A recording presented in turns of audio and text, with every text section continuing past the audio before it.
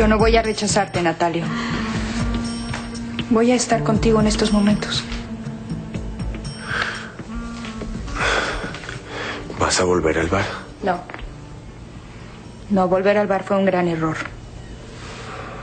Mira lo que desencadenó. El episodio del bar ha terminado para mí. No sé qué me depare la vida, pero al bar no pienso volver.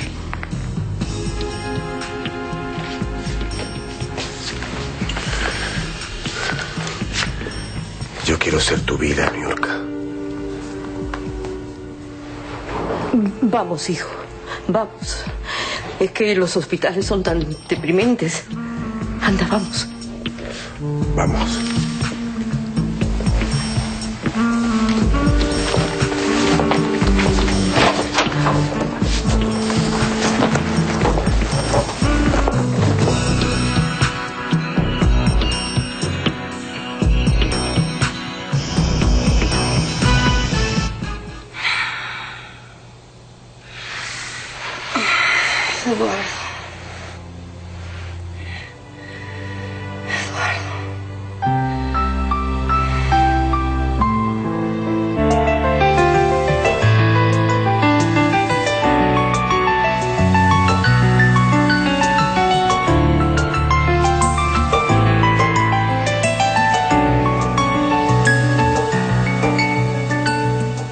Cuando supe que hoy regresaban de su luna de miel, le pedí permiso al señor Sergio para poder venir a recibirlos. ¿Cómo la pasaron? Hablaremos en el jardín, mami. Sí. Permiso, señora Regina. Sí, sí, vaya. Permiso. Sí, sí.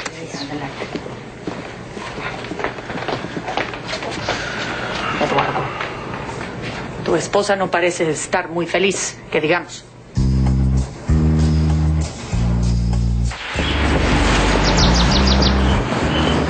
¿Por qué tan seria? ¿Acaso pelearon tú y Eduardo en la luna de miel?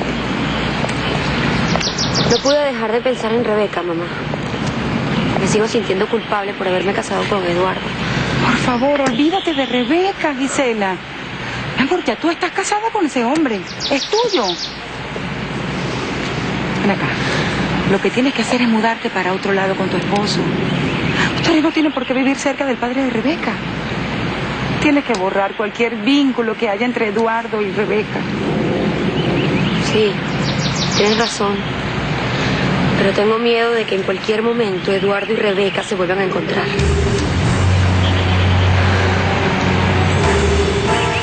Jorge, Alicia, ¿qué esperan para llevar esas maletas a la habitación de Eduardo? Sí. Hello. Enseguida, señora Regina.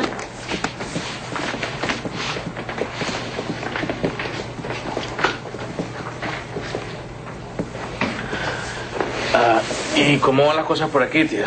Ay, como si te importara. Te mueres de ganas de preguntar por esa Rebeca, no lo niegues. Mira, Eduardo, tú con Gisela has hecho un buen matrimonio. Aunque no sea una mujer de nuestro nivel, con ella podría ser feliz. No debes permitir que esa felicidad sea perturbada.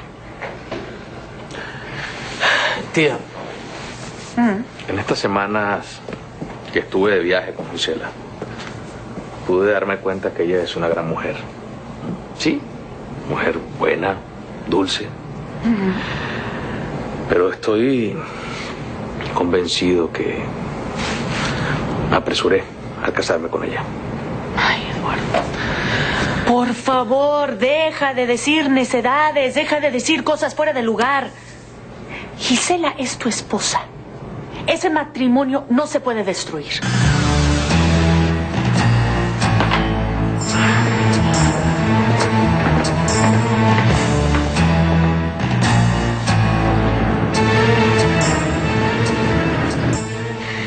Tengo que hacer algo. Algo para no perder a Martín. Aunque después de la pérdida él me trajo a vivir otra vez a su lado. Aunque no me ha dicho que me piensa dejar, yo lo siento muy distante. Y aunque no me lo confiesa, yo estoy segura que piensa en ella. En Rebeca. Tengo que lograr que el amor de Martín sea mío. Hola, hermanita. Dejaste abierta la puerta del palacio donde vives con el bomberito ese. Así que este es el chiquero donde vives. Hay que ver que si caíste bien bajo, ¿verdad?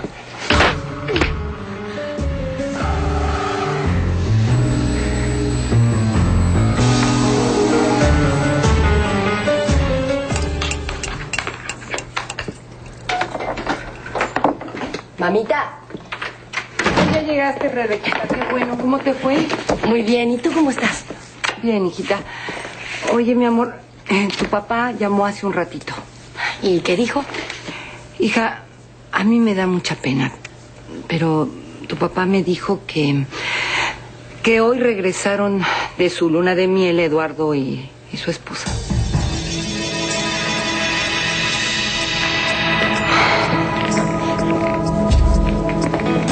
¿Pero qué te pasa, princesa? ¿Por qué me cacheteas? Y todavía lo preguntas. No seas cínico, Tony. No te abofeteé antes porque no te había visto. Pero esas cachetadas son poco para lo que tú te mereces. Eh, princesa, yo no sé de qué me estás hablando. Por tu culpa perdí a mi hijo, Tony. Tú me mentiste para que yo me levantara de la cama y lo hiciste para provocarme un aborto, por Dios. Hermanita, hermanita, por No, favor. no me lo niegues, Tony. Tú me tendiste una trampa y yo caí ahí como una estúpida. Está bien. Sí, sí, sí, lo hice. ¿Y sabes por qué? Porque no quería que siguieras con un muerto de hambre como Martín. ¡Imbécil! ¡Era mi hijo! ¡Era mi hijo! ¡Quieta! ¡Quieta, fiera!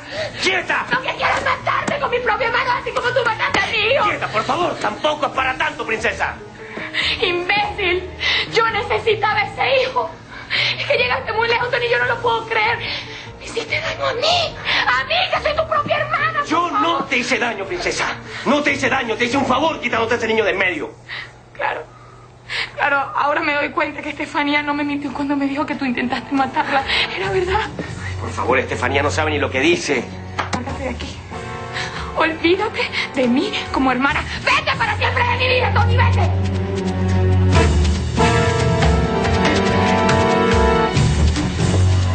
Pero tú te volviste loca, ¿sabes? Te volviste loca, princesa. Loca por seguir empeñada en un muerto de hambre como Martín.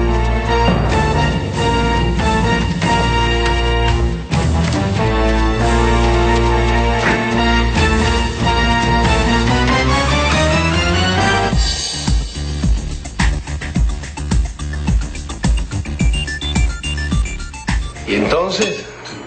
¿Disfrutaron de la luna de miel? Sí, estuvo muy bonita, señor Sergio. Por favor, Gisela.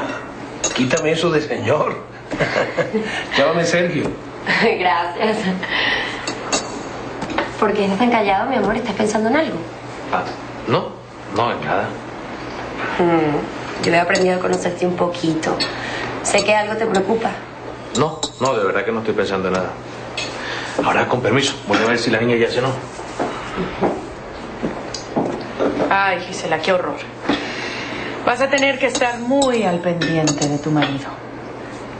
Lo digo por esa Rebeca. Por favor, Gina, ya basta. ¿Es o no es la verdad? Digo, para Gisela no es ningún secreto de que a pesar de que se haya casado con ella, sigue pensando en esa Rebeca. Niña, abre los ojos. Esa mujer te puede quitar a tu marido. Oye, oye. Rebeca no le va a quitar su esposo a ella ni a nadie. Deja de ser tan venenosa. Por favor, les ruego que no discutan por mí. Permiso.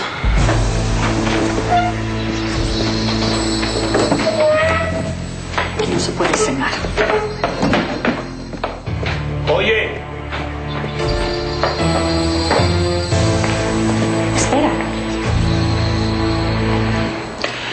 Quiero que sepas que en mí tienes una aliada para hacerle la guerra a Rebeca. Mira, si esa arrastrada pretende robarte a Eduardo, cuentas conmigo para destruirla. Yo voy a caminar por el jardín, permiso.